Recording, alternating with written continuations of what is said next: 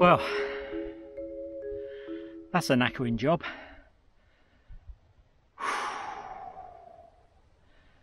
Cutting firewood. It's fun for about half an hour, but after that, whoa. Well, anyway, it's um, necessary because winter is just around the corner. We had our first frost this morning The question is, well, I know you know what this is.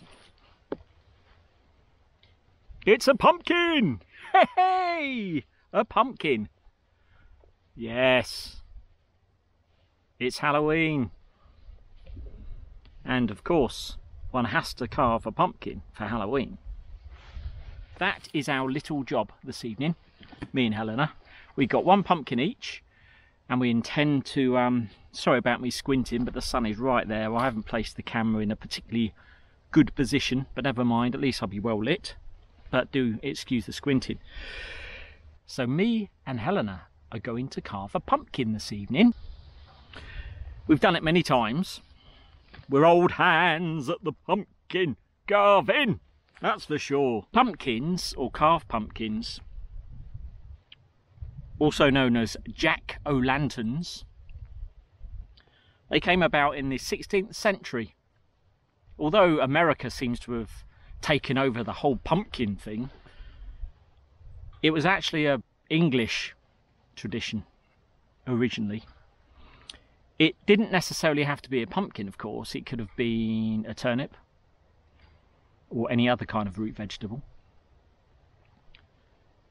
But obviously a pumpkin is quite practical because it's quite hollow inside anyway so half the job's already done and it's orange so it looks a little bit more kind of scary enough of that I will now um, go and change into something less sawdusty and find a scary mask as well to scare Helena she's promised me that she's going to wear her vampire dress outfit when we're um, carving the pumpkins tonight which should be quite interesting.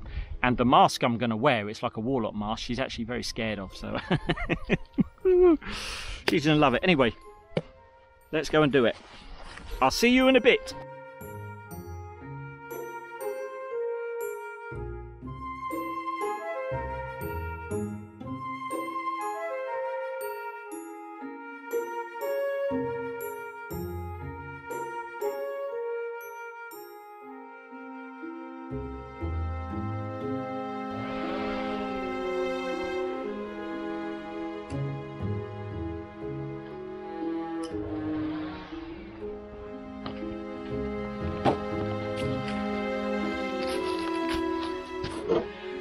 Ooh. A nice beer, I think, when I finish this.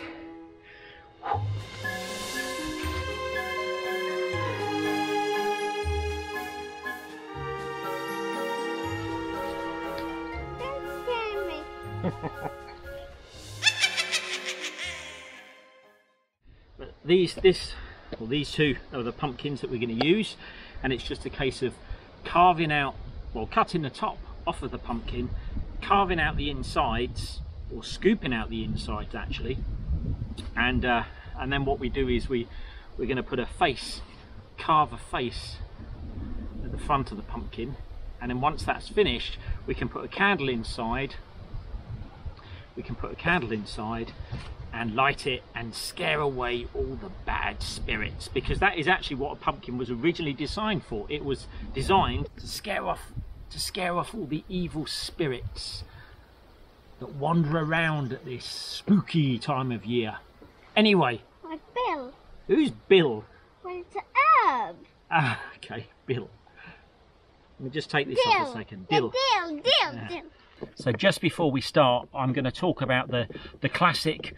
Um, I'm going to talk about the classic pumpkin carving tools and scooping tools as well. So first of all, Helena. So this is for cutting out there all around there.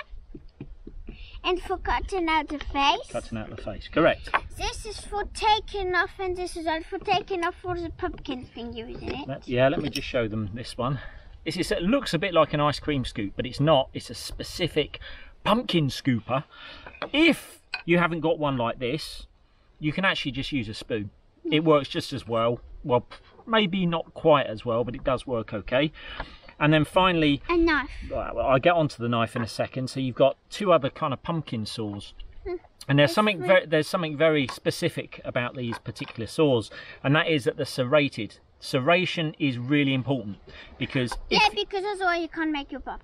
if uh, at time, because if you use a knife, the knife has a tendency to be a little bit uncontrollable when cutting the pumpkin flesh, and you're likely to do a lot of damage to the pumpkin that you Yeah. didn't intend on doing, and potentially doing damage to yourself. A knife has got its use when you carve a pumpkin, but generally a minimal kind of use. Anyway, let's begin. Does he? Okay. And Helena has started to cut the top of her, her pumpkin. What's important, and I'm just going to correct Helena there as well, is that when you when you cut, you need to cut at an angle, because if you cut straight down, the top will just fall straight into the pumpkin. It needs to be a tapered kind of edge, so at that kind of angle, Helena. Okay. Okay. Carefully with your fingers. Do you need to hold the pumpkin? Yes. Don't cut my fingers, eh? Oopsie. And also, just as a guide, when you cut the top of the pumpkin, don't make the hole too small because your fingers have actually Have got to, to. fit in They've, it. they've got to be able to fit inside. Well, I say your fingers, your whole hand, and it isn't a case of just your hand. You're going to be able to Scoop. scoop. You need to manoeuvre inside the pumpkin. So that is why you make such a big, a big top. So once you've completed the tour around the top of the pumpkin, it's now ready to lift off the lid. Normally it's quite an easy, if, ah, there we go. And then inside, Can I where do I put it? you just put it on the, the, the top there. And you, inside is, this is what, obviously where all the pumpkin seeds are and all the flesh. And what we're going to try and do today is we're going to try and save some of the, the actual flesh itself um, and make a soup out of it uh, later on, or um, or maybe tomorrow. But obviously, all the seeds and the, the strangly, dangly bits, um, they're all to be taken out and thrown away because, well, ultimately you could replant the seeds actually, but other than that, it, it's it's for the compost heap.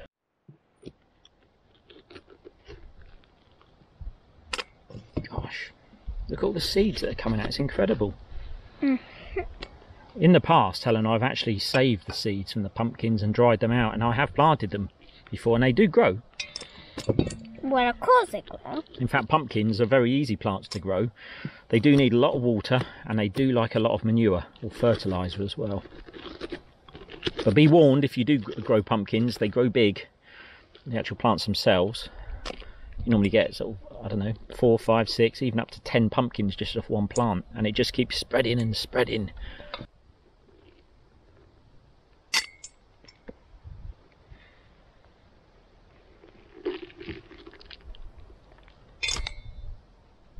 What does that feel like, Helena? I don't know. It's like slime. It's like Halloween slime.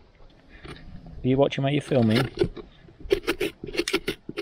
And then after that, it's just a case of scooping, but you need to do it relatively. You need to do it in a relatively controlled fashion. Mhm. Because if you take too much of the flesh away, then obviously it makes the pumpkin too weak. But it's surprising actually how much flesh you can take away, to be honest. Now, I don't know how well you guys can see this, but I'm trying to indicate the best ways to gouge.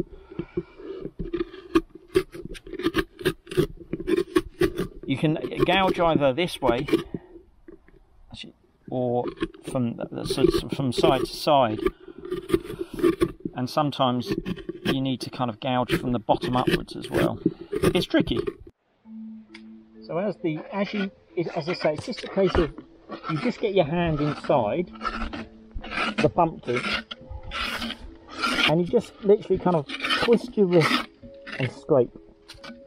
And as as the, the wall of the pumpkin gets thinner, you can actually kind of gauge. Well, I, I must admit, I've done this a few times, so I kind of know. But if you've never carved a pumpkin before, the more hollow it sounds, the closer it is to being ready, basically. Can you hear me? Can you understand me with this mask?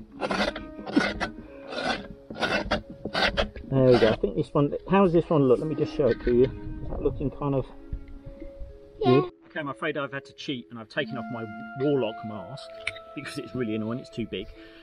So I've, or we have finished emptying the two pumpkins. the next job is to be there is to sort these out because we obviously need to scoop these somewhat as well, which I'm going to do quickly. now. Daddy, Yes, are we going to plant dill one day? dill. Uh, yes, probably. Ah, Why do you say that, Helena? well, because in the herbs it's a series. I mean, this anime. Yeah. Well, yeah, there is dill, the Yeah. dog. Well, i- i- in the this anime is a dog. Right. Okay. This is the Herbs, is it? Yes. The old 1960s kids program, The Herbs, which you've got a DVD off.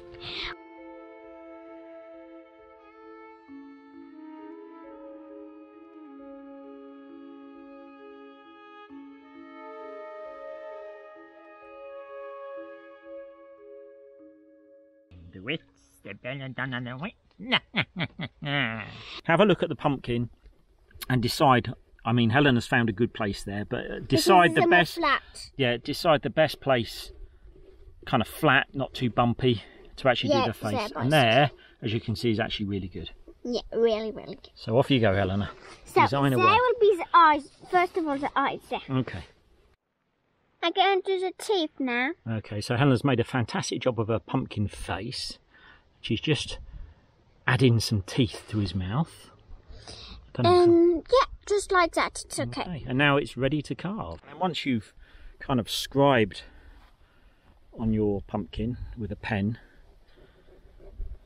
you can then begin. start cutting it. You can start cutting. Let me see you cutting, Helena. How's your cutting doing? Um, I don't quite have to do this side after you. Could you help me, Daddy? Yeah, of course I can help you, darling. As I said to you, we use these. They're like very thin saws, I guess, and they do, they do the job really well, actually. This saw's a bit uh, a little bit bent now from all the years' use. I've had the saws quite a while, actually. I think um, I think I bought the saws in the UK when we were still living in the UK, so that must be uh, well over ten years old. And uh, as you can see, once you've, you've cut through, you could just pop out the the morsels of um, of pumpkin. mine is a bit bent.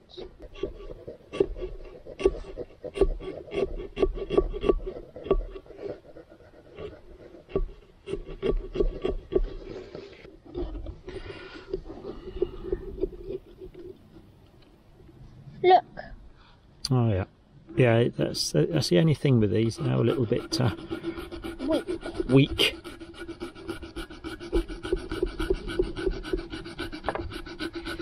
But what I have noticed though, and I always forget and kind of remember when I start carving a pumpkin each year, is that they remind me of the sea, the seaside. And why they remind me of the seaside is it actually the flesh actually smells of kind of like seaweed and brine and things like that.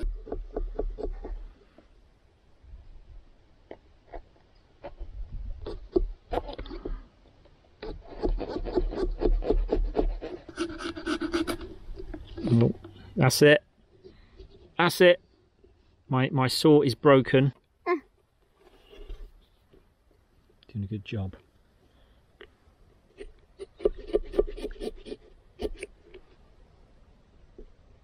Mind your fingers though, eh? Don't worry, I'm used to it. So once you've finished cutting out the, the eye, the mouth, the nose, etc., it's just a case of pulling out the segments that you've cut. But do remember that you need to push them outwards rather than push them inwards. And they should come out relatively easily. That's the other eye, one nose and one mouth. And teeth? Sometimes, just like now, you will find that you just have to do a little bit more cutting. Yeah. Because this one's stuck and obviously if you force it out, you're likely to break things like the pumpkin's teeth, etc. And what you can also do is cut it in half, which can sometimes make the job easy. There we go. Look at that magic. There we go. Oh, it's pretty scary. Hang on a minute, let me just get this. I'm worried about this tooth. afraid. Yeah, he doesn't look very happy, does he, my pumpkin? I must admit. Well, my one is. I'm going to just cut this one a bit more Weird. actually because as I say, I've got it, I'm scared that the tooth is going to break. There we go. Let's try. Ah! Show me. Now that's a weird one. Excellent. Oh, and the sun's come out as well. That can't be bad, can it?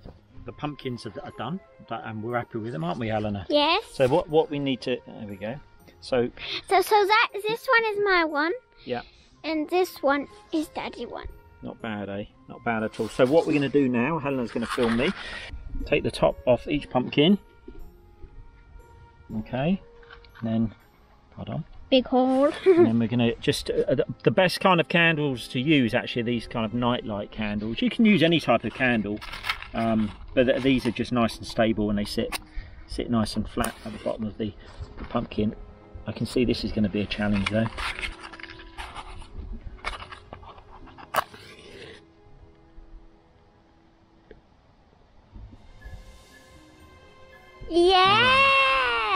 go and then once you've done that you just pop the lid back on so there we go now pumpkins are complete.